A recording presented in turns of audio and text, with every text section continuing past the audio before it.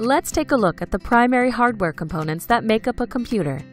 This includes the base unit, the monitor, the speakers, the keyboard, and the mouse. Each part serves a purpose that allows us to operate and interact with the computer.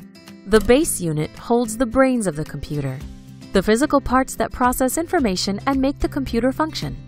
It contains important components like the CPU or central processing unit, the motherboard, the hard disk, and the memory units.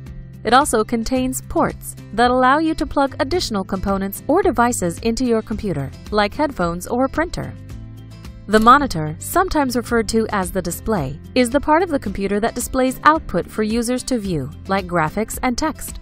In some cases, the monitor is a separate piece that you must physically plug into your computer. In other cases, the monitor is built into the computing device. The speakers allow you to listen to sound that comes from the computer, in some cases, the speakers are built into the computer. In other cases, you must physically connect speakers to your computer in order to hear audio. The keyboard is an input device used to interact with the computer.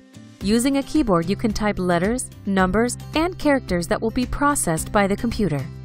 Keyboards can be physical and attached to the computer, or they can be virtual where you use a touch display to type by directly touching the screen of the monitor.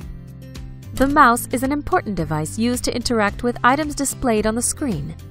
When you move the mouse, a pointer on the screen also moves, allowing you to operate the computer. You can plug a physical mouse into your computer or use the touchpad that is built into some computers and provides the same function.